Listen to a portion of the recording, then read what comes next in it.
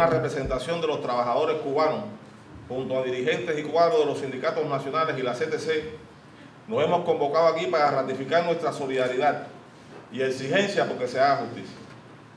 El 12 de septiembre quedará marcado en nuestro calendario como el día de la vergüenza del sistema judicial de los Estados Unidos y el de la inacción de las sucesivas administraciones yanquis frente a los grupos terroristas que mantienen secuestrada la justicia.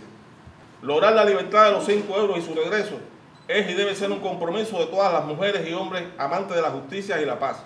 Gerardo, Ramón, Antonio, Fernando y René han demostrado durante estos años una enorme fortaleza moral y una inquebrantable confianza en la solidaridad de sus compatriotas y también de quienes los apoyan en todo el planeta. Admirándoles y profesándoles nuestro agradecimiento por tanta resistencia, luchando y exigiendo para que esas rejas, rasgadas a trasluz, más temprano que tarde, sean trazadas con las líneas precisas de la libertad. Hasta la victoria siempre. Muchas gracias.